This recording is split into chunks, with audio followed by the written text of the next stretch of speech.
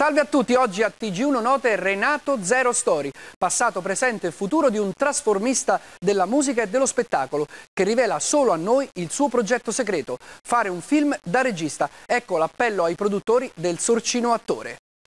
Morire qui, io non vorrei. Renatino, passato, presente e futuro, no? Certo, questo è il futuro. Siamo noi in questo momento, il futuro con un, con un meraviglioso eh, DVD che, che narra delle nostre peripezie sui palcoscenici d'Italia.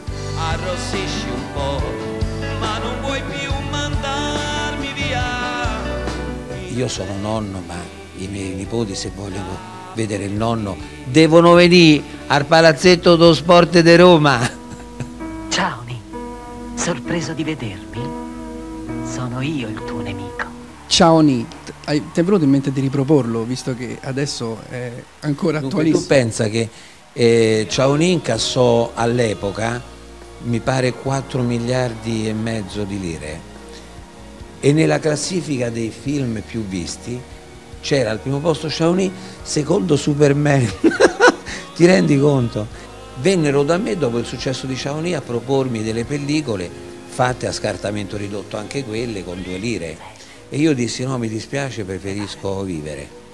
E non feci più niente nel cinema. Il cinema ancora mi rimpiange e sto pensando di rifare una capatina nel cinema. Se mi dice bene.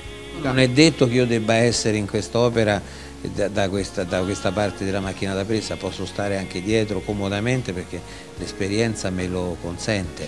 Mi piacerebbe molto fare regia, perché credo che sia il, il ruolo un pochino più idoneo alla mia persona proprio oggi, alla vigilia dei 60. Ma c'è un produttore, non so, qualcuno che ti è molto vicino che ti ha fatto questa proposta? C'è? Ci sei? C'è. Ragazzi, non cercate troppo in giro, se volete una risposta alle vostre ambizioni c'è. TG1 Note, parola di zero.